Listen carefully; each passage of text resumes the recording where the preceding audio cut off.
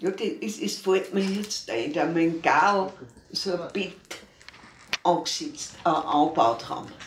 Und dann am Acker ausgesetzt. Auch lauter so Betteln, dass du dann links und rechts dazu liegen hast.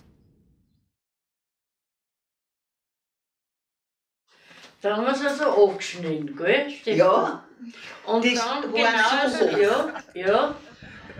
Und das haben wir dann, haben sie so einen Korb mitgehabt. Und da war ein Staun, die war ja so. Und da haben wir es Da haben wir die angeschnitten. und reingeschmissen. Ja, in so einen Korb. Ja. Dann haben wir es aufgezogen am Dachboden mit nur größeren Kerbidee. Und dort haben wir es trickert. Hallo, ja, schön, dass du da bist. Schau, wir haben eh schon alles hergekriegt. Sitz dir einfach her zu uns.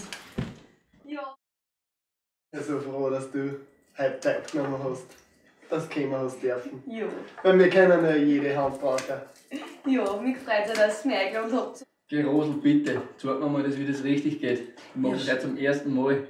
Ja, schau, du nimmst die Kahlschale in die Hand und so ein Kahl und dann zwickst du einfach da unten die kleinen Blasen einfach weg. Schau.